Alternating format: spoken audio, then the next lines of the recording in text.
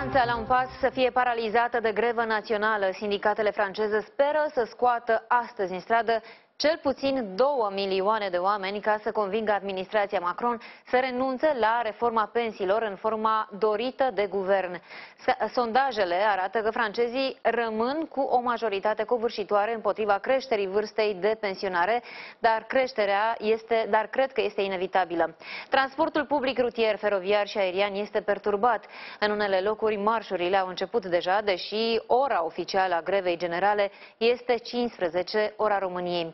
Pichete sunt încă de dimineață în intersecții sau la intrarea în licee.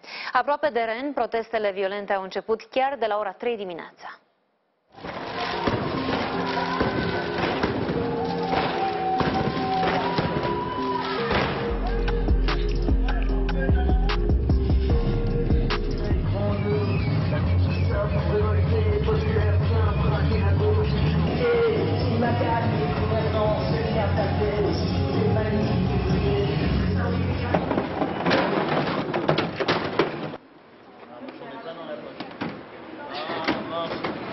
L'espoir des dictateurs, la belle parole nos dirigeants des cons